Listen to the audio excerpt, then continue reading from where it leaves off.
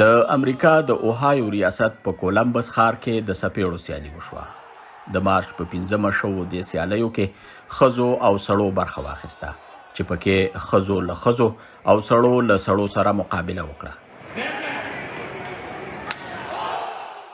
د سیالیو په سر کې د پولند ټلویزیون پیژندل شوو سیرو ترمنځ مقابله وشوه په دې سیالیو کې به ګډونوالو یو بل ته درې درې سپېړې ورکولې او چې کوم تن به خپل سیال په سپېړه وغورځاوه هغه به بریالی شو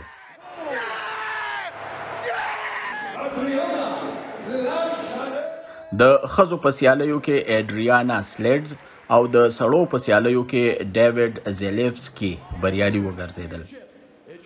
د اکشن فلمونو مشهور اداکار او د کالیفورنیا پخوانی ګورنر